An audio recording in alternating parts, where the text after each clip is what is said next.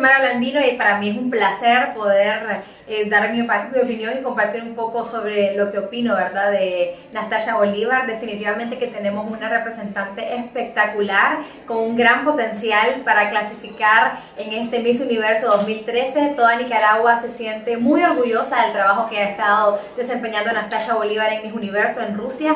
Eh, mañana, por supuesto que Nicaragua entera estará muy pendiente de este certamen, el certamen de belleza más importante del mundo. Y sabemos, ¿verdad?, que Nastasia está, para mí, en lo personal, eh, clasificó dentro del top 16 de las finalistas de Miss Universo para luego pasar a un top 10 que para mí es algo más que obvio por la pasarela impecable que tiene nuestra Miss Nicaragua, aparte de eso su carisma, su proyección escénica y esas ganas, ¿no? Ese ángel que tiene Nastasia, estoy segura que lo va a poder proyectar de la mejor manera, que la va a llevar a ganar la corona del universo. Y esperamos y confiamos en Dios de que tenga esta grandiosa oportunidad Nastasia en este momento me imagino que se siente un poco nerviosa, ansiosa, eh, ha pasado varias semanas que, con muchas actividades, bastante cansada, pero ya llegó la noche especial y en esa noche estoy segura que se va a encomendar a Dios y, y gracias a Dios, ¿verdad? También eh, cuenta con el apoyo de su familia, de todo un pueblo nicaragüense que está muy pendiente eh, de cada uno de sus pasos en mi universo y esperamos, ¿verdad?, poder disfrutar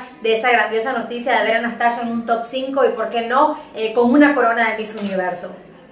Eh, bueno, clasificar en el top de mis universos a nivel personal puedo decir de que para mí fue una grandiosa experiencia, sobre todo porque sentís que estás proyectando tu país en algo positivo. Eh, luego de eso es una emoción única, ¿verdad? La que se puede vivir. Espero que Anastasia mañana pueda vivir no solamente esa emoción de un top 10, sino que viva una emoción de un top 5, incluso que quede en los primeros lugares de si no logra ganar la corona de mis universos. Aunque para nosotros, ella ya es universo 2003, estamos muy orgullosos de su trabajo y como país nosotros nos sentimos eh, felices, ¿no? De ver algo positivo a través de un certamen de belleza. Puede ser un poco superficial, pero a la hora de la hora se toma en cuenta esa belleza integral de la mujer nicaragüense, que es la, es la belleza que Nastasia ha demostrado ante todos en mis universos.